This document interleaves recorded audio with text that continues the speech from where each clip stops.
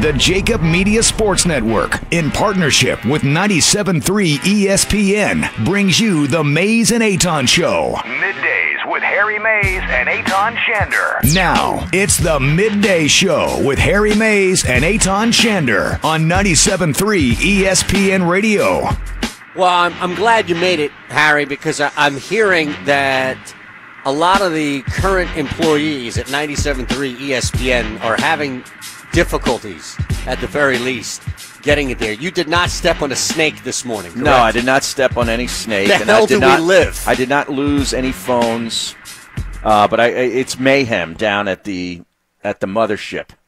Ever today. since you've been there. Yeah, I was there Monday to last week at this time. I was there. Ever since you stayed down there and showed up, you've left a trail of destruction and chaos. Right, You and all that? I do is show up on time for everything. Yes, sir. do All my job and I leave. That's the thing is you must. Uh, I, I don't know what it is that you did, but your appearance has now turned this entire station On into its ear. Mosher stepping on snakes. Yes. How the hell is this possible? I don't know. I was more shocked that he's out there on a daily run than he was stepping on snakes. It was during a run. Yeah. Congrats oh to Jeff Mosher. Well, that's really breaking. That's the breaking news. Right. You I buried the lead. Shame on me. Mosher's running. He's, Shame. he's doing something for fitness, and you're talking about some snake. Who cares? Well, I, I mean, listen, I want to make sure that the All In podcast is up at a normal time when people expect it. And I'm told that it, it was a Mosher Rothstein production. Oh here. man, last week when I was there, I, I forget if it was Monday or Tuesday. Um, they were supposed to record it, and somebody's supposed they're both supposed to be there at X amount of time. They're both an hour, half hour late. One's forty five minutes late. They just come straggling in off the street whenever they damn well please. Oh, it's It's amazing. just there's just no accountability. Well, well, that sounds like you're talking about Gil. I'm there. just saying. That's not fair. I mean, man. I would take a flamethrower to that place. Well, may, maybe Gil's just slowly taking notes. Oh, You know, yeah? he's building his case. That's what the old PD used to do. yeah, yeah, exactly right. Just put it in a file. Yeah, next thing you know, that file's sitting in front of you as far as a booklet. And you're like, Right. what, you've been building that? If I had known you've been building that Right. for the last two years, I would have acted differently. Right, exactly. Unbelievable. All right, now where to begin? Because locally we've got news here. Just mayhem in the NFL. Seriously, the, the defensive line is decimated. Tim Jernigan out for the rest of the year. You know, we'll talk about that and where the line is now and the Eagles are, but also out for the rest of the year. I thought it. Oh, no, no, no, no, indefinitely, no, no, right? No, he's out. He's going to be out. He's got a broken foot,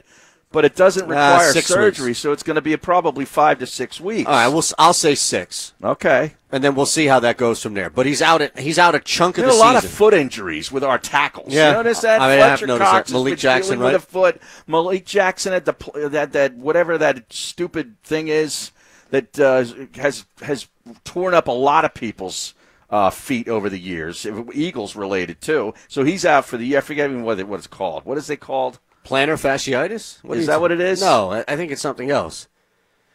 Are you talking about the actual injury? Yeah, the actual injury. Anyway, he's gone for the year, and now you got uh, Tim Jernigan with a, with a broken. Oh, it's the foot. Lisfranc. Liz Frank. Right. Yeah, that that's it. Yeah, not Reuben Frank. No, not Reuben List Frank. Frank. Yes. Although Reuben was a runner, or is a runner, so I, I don't know. I mean, don't runners usually get the Lisfranc injury? Wait a second. Reuben's a runner. I'm telling you, man. I, I used to see. Uh, yeah. What a runner at a restaurant? No, I mean, I'm telling on, you. What are we talking I'm, about? I'm just saying. All all right. Anyway, But my point of it being is that uh, I don't know. I, I thought that the Lisfranc injury you get from a lot of running. well, yeah, people tend to run. Okay. get it. Yeah, Okay. I, I I- hear you.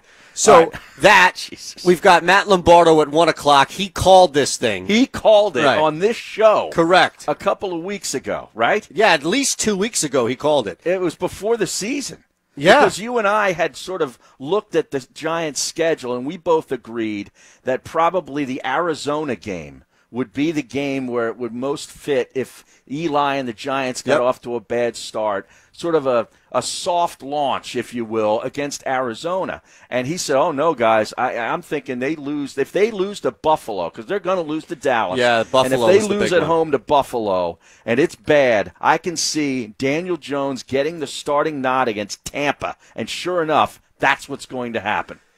All right, and I wonder though, how much did Buffalo uh, like Buffalo's two and zero? They're they're not the Miami Dolphins. They're not a bad football Oh, they're pretty good. Yeah, and the conversation you're getting now on Twitter, and, and I'm not using that as the, the only barometer here, but the conversation you're getting is, and this is how it's been for the last year, year and a half. Well, it's not Eli's fault. It's not Eli's fault. What do you expect him to do with whoever's around him? Fill in the blank. But when you draft somebody like Daniel Jones that high, the and you know that Eli Manning is out, this is just a matter of time. So if it was week seven or week three, it, it was inevitable. It was to going happen. to happen. Right now, I did see Marc Ernay, Ernay, pardon me, who is a, an anchor uh, for CBS Sports Radio or, or CBS Radio, and he does 1010 up in CBS. 10-10 wins? He does, right. Uh, Marc Ernay tweeted this out earlier this morning, and I saw it, and I wonder where you stand on this. I'm going to ask Matt Lombardo this question right away, as soon as we get on. What's going on with Trebek? Is he okay? Nothing. Okay, I saw Alex Trebek as, what- as the number. I listen. Cokie Roberts passed away. Rest in peace. I was making sure that everything's okay with Trebek. All right. Yeah, okay. Ernay brought up what if right now, especially this was before the announcement of Daniel Jones, mind you, before they came out and said Jones will start.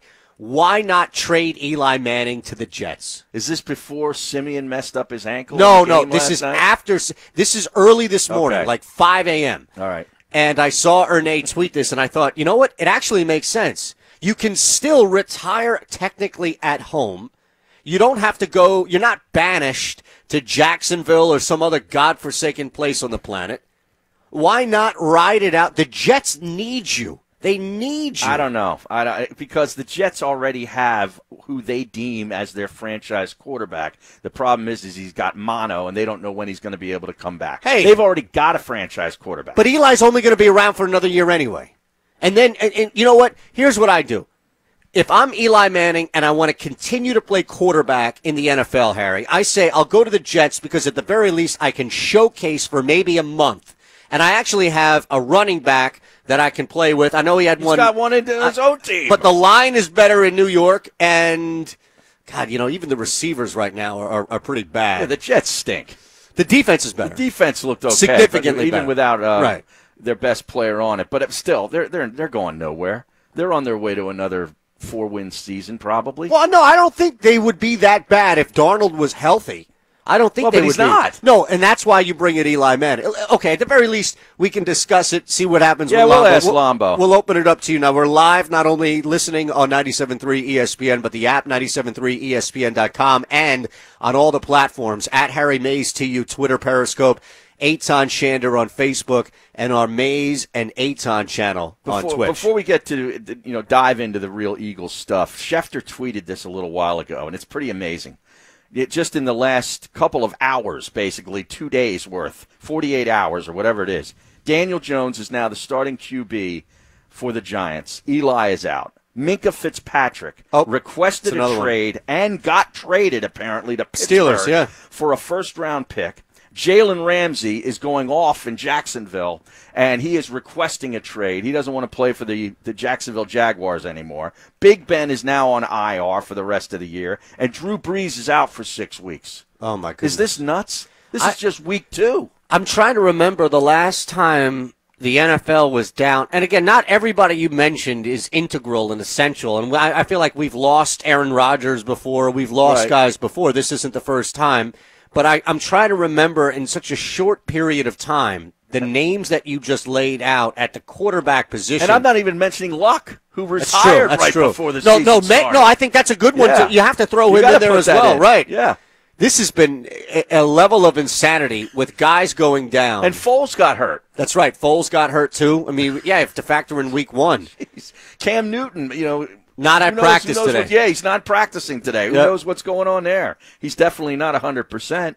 It's just crazy. It really and is, And then I started looking at the Eagles, and, you know, we, we had Doug Pederson's press conference yesterday, and he didn't know anything about any of the medical stuff. He didn't know anything about anything yesterday. But as it's coming On out, purpose. as it's coming out later now, we're we're starting to get a little bit clearer picture. But it's clear as mud because nobody knows really if any of these guys, the soft tissue guys, are going to be able to play against Detroit this week. well, the the factor that I think everybody needs to look at is you're not dealing with two games in the normal stretch. You're dealing with two games in ten days. Three games in 12 days. You had Atlanta, You have Detroit, and then you have Green Bay on a Thursday night. They're going through this stretch right now. Well, seven. Right. I You got guess three games in 12 right, days. Right. that- Which which is And a two of them on the road against good teams. So One you've already lost. Yeah, and, and now that you're dealing with the soft tissue injury after the first game, you have to look at now and say, is it really worth it? Like, if I'm looking at the next two games, I'm probably going to keep. If I if I am looking at getting guys back, I'm not going to split workload, and I'm not going to get a guy who's 70% out there against Detroit. I'm probably going to sit him against Detroit so he can going. play in Green Is Bay. Is that what you're thinking? Like, do we try to cobble together a win with Arcega-Whiteside and Mack Hollins getting a full week's worth of practice as the number one wide receiver tandem with Carson Wentz and try to win that game Yeah. at home, and then hopefully you get the other guys back for Thursday night in Green Bay, All right. you're going to need them. Let's assume all three of the guys are out: Goedert, Jackson, and Jeffery. And the Goedert thing is an aggravation of a previous injury. Right. Which again, mind-boggling that they didn't bring anybody else on the team on the trip. Whatever. That's that's aside now. We're past that. But the point remains, Harry. If all three are out, and you're going to make this decision today on a Tuesday, you have now three. You have a week. I know it's not an off-season week, but you have a week to implement a game plan with guys out there. And if you're not good enough, if this Philadelphia Eagles team is not good enough to a, and I'm fully confident that Doug Pederson can devise a game plan, but I'm saying if they're not competent enough, good enough to devise a game plan and then execute it with Wentz, Ertz. Agholor, the running backs, Sanders, the offensive Howard, line, yeah. right? Everybody that's not a starter, Right. right. that would be in there. Then we need to seriously, seriously change the parameters of the conversation with this Eagles team. And that's not a total shot at Detroit. No, it's not. But, But I mean, let's be honest. This is a better football team than Detroit. Yes, it is absolutely. And you know, Stafford did not look particularly great against uh, Los Angeles last week. They got the win.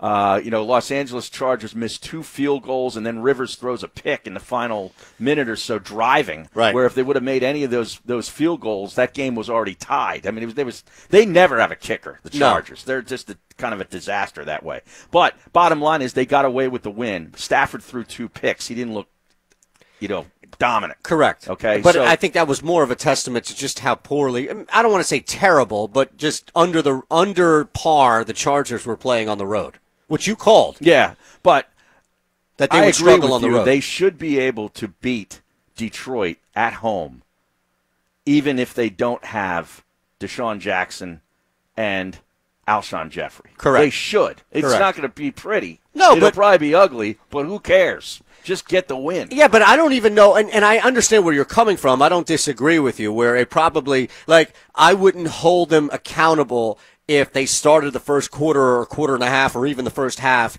a little slow to kind of get acclimated, but I would expect them to be able to put up some points. Like at the end of that game, if they're winning 13 to 6, then, you know, there's a problem.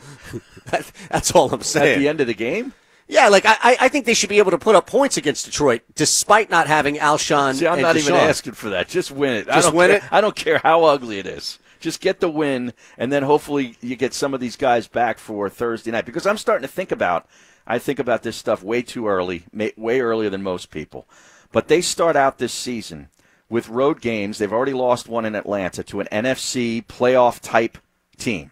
At Green Bay, playoff type team. At Minnesota, playoff type Yeah. team. Then you got Dallas, on, you know, on the road. You got that Minnesota, Dallas, Buffalo scenario of three straight road games, and then you get the Bears at home. It's true. So It's- until they get to the bye, with all these injuries, they got to be able to scratch out. You know, they got to be able to win one of the two games on the road against Green Bay or Minnesota. I'm not asking for both. They got to win one of the two, and then you get Dallas. It's true. By the time you hit Dallas, you have to be healthy. This football team in Dallas will be cruising by then. Yeah, because they started off, you know, Very with- slow with a- as far as tough with a pretty opponents. soft schedule, and Right. then they get New Orleans without Brees. Correct. Which is again going to be. I don't care who the quarterback is. It's Well, going it'll to be Bridgewater unless he gets hurt. Then maybe you can send Eli to New Orleans. There you go. We can ask Matt about that. Right. Sending Eli to New Orleans or anywhere else. All right. At Harry Mayes to you at Shander Show. We'll get to the text board coming up 609 403 0973. Uh, two quick things uh, to slide in here. And nothing is ever quick, of course, on this show. But No. last night, you and, and this was funny because we were going back and forth, and you you actually had the right to, right move, which was to opt out immediately, right? Oh, there's our old buddy uh, Jordan Raanan on uh, ESPN. Are you talking about a group text? Yeah. So Yeah. there was this group thing, right? And I was thinking, all right, let's just get. It, it was my way to fish. Right, right. Fish Yeah, I know. So we sent it out to everybody involved down there, and you know, a couple people just stopped responding. So I'm already out on Hunter today. I'm out on you today. Like Yes. I'm out on a couple. Well, I responded though. Yeah, you're right. I'm more out on guys like Brody who just like bounced on the chain for some reason. I'll, in fact, Josh, I'll, another I'll, one I'll who's tell working. you what I, said. That. Let, us go through what I said. Well, here. you you got out of that, right? Yeah. While you find that text, let me get to the other one. Right. Right. The other thing I was going to mention is people better. I, I want to do this every Thursday with you until you get sick and freaking tired of it, and I don't think you will. what the DraftKings? Yeah. No, we're I'm into it. We picked a winner this week. A winner. Week. That, that's an understatement. There were uh, one of these lineups came in top ten Is that right? in like one of the one over a thousand. How many nearly- different contests did you put it in? I played it in nine. Now again, it's different entry fees. You know, Right, a right. dollar, three dollars. One was thirty three dollar entry free uh, entry fee. Pardon me.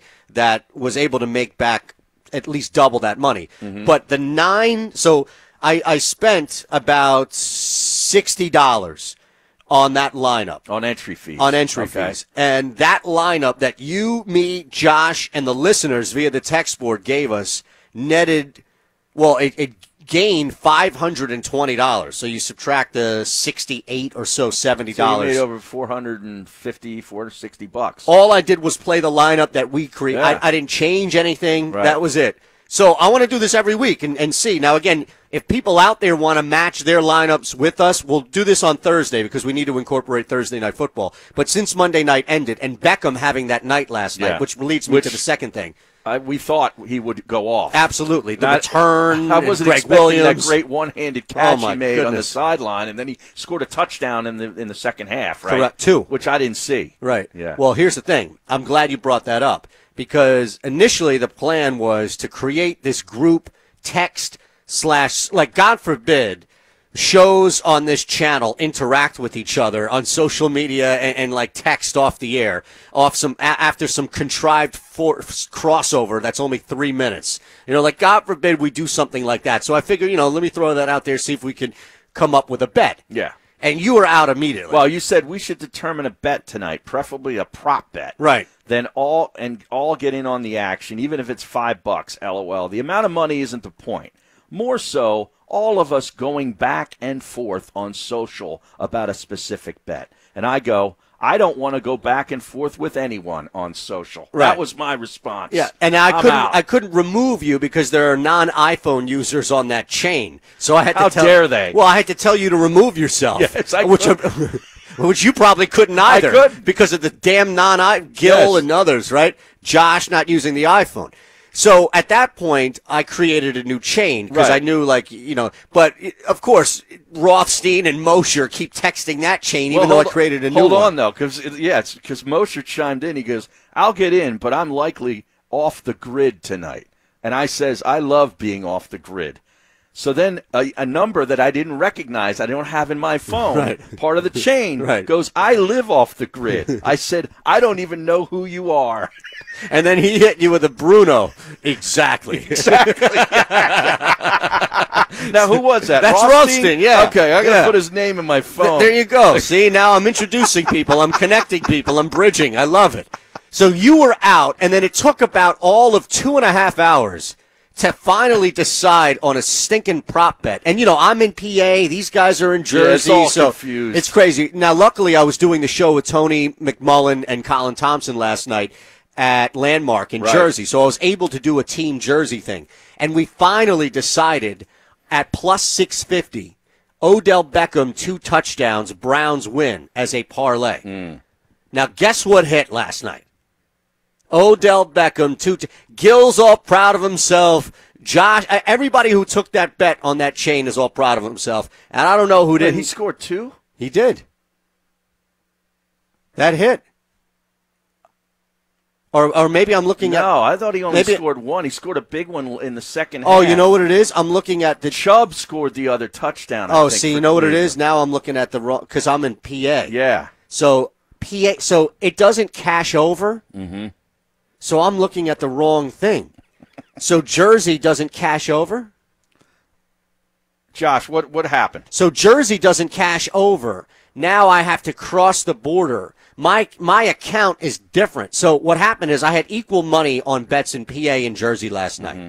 And what I thought was when I looked at the account, not the bet slip itself, that the money kicked in. So what happens is I must have to go over to Jersey to collect any payment.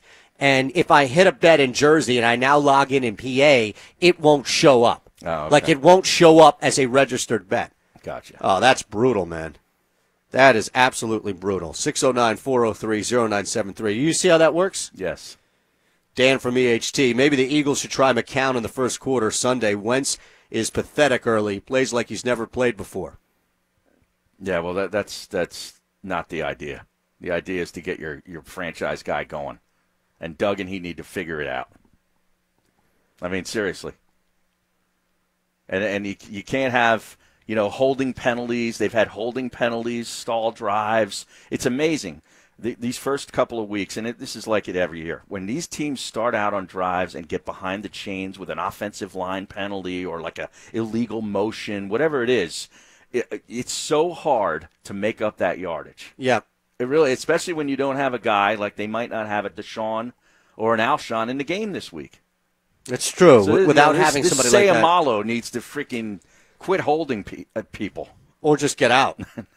Dan follows up. So far, the Eagles' backs have gotten into the second level maybe twice. They are killing Wentz. He needs some help from the running backs. Well- Sproles did well in the first game, but we saw him on maybe three times against Atlanta. What? Sanders had one a touchdown called back in the week one because of a penalty. Yeah, well, they Remember? didn't. Need, yeah, I, I know, and and I needed that for the cover. But outside of that, I mean, I, I think you look at one play that jumps out. Yes. Yeah, Odell Beckham Jr. only had one. No. I know. I, It's the I- I 89 see yarder. Yeah. See, I didn't even think to check the box because I get a text from Gil in the morning. My FanDuel account updated, and I get a text from him saying, "Hope you guys took that. Hope you took OBJ." OB, hope you took OBJ two TD and Browns win. Why would is, Gil a, text? is that a coherent text? hope you took OBJ two TD and Browns Why would he win. say that if there weren't two TDs? I think he messed up, and Thinking that's the Browns scored two TDs and Odell Beckham has one of them. No, he says, hope you took. I mean, he messed up the text, but hope you took OBJ two. That's what happened. So that set off a chain of miscommunication. You- so you think you were going on bad information from Gil? And the fact that I didn't realize that my account, I understood I need to cash a bet, but I thought my account would update.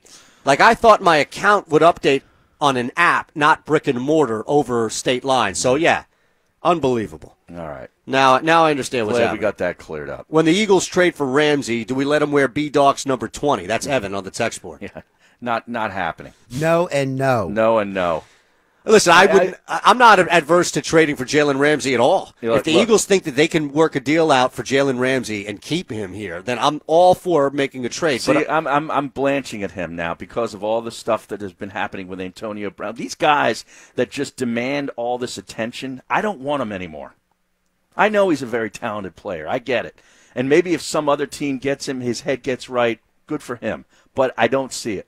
I think the guy is just a he's a he's a lunatic.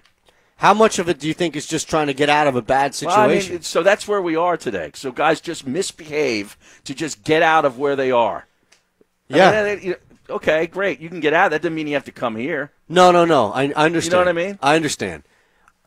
I mean, I understand Miami is is an absolute dumpster. Well, fire. Jacksonville. No, Miami is. Right. That's a dumpster fire. So you They- don't they- blame Minkah Fitzpatrick? Well, I mean, he didn't go go about it in these kind of ways. He's not. He wasn't like Well, trying no, to I- fight his coach. on I, the I get sideline, it. Was he? Wouldn't you try to fight Doug Marrone? No, though? no, no. I'm just saying, like, you know, Minkah Fitzpatrick knows the team's basically tanking, which is incredibly obvious. Right. And he wants no part of it. Right. So he requests a trade. He's not going out and acting like an idiot. I don't want. I don't want any more idiots. I'm sorry.